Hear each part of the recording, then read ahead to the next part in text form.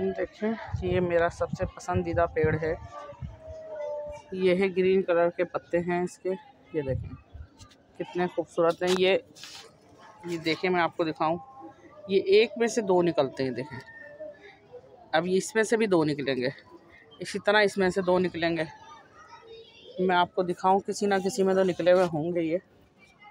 इस तरह, एक में से ये दो निकलते हैं। और ये बस बहुत मुझे पसंद है। बड़ा खूबसूरत पेड़ है ये।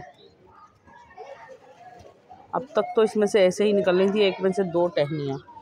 ये ये देखें, एक में से दो टहनियाँ, लेकिन अब आगे ये एक ही नज़र आ रही है।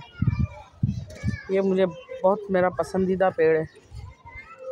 मेरा दिल चाहता है इसके पत्ते देखती ही रहूँ मैं। इतने खूबसूरत लगते हैं, ये देखें ज़रा, जो छुपे हुए हैं। और ये देखें, इसके पुराने पत्ते कुछ यूँ हो जाते हैं तो ये मैं निकाल देती हूँ ऐसे करके।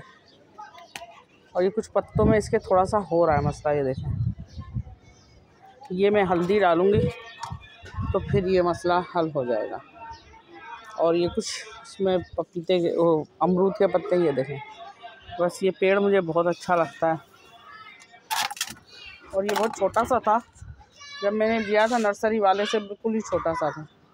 और अब माशाल्लाह आप देख सकते हैं ये कितना ऊँचा हो रहा है। और मैंने इसको इतनी ऊंचाई में लगाया हुआ है ड्रम में। तकरीबन ये ज़्यादा से ज़्यादा जो है पंद्रह इंच की ऊंचाई है और चौड़ाई थोड़ी ज़्यादा है इसकी।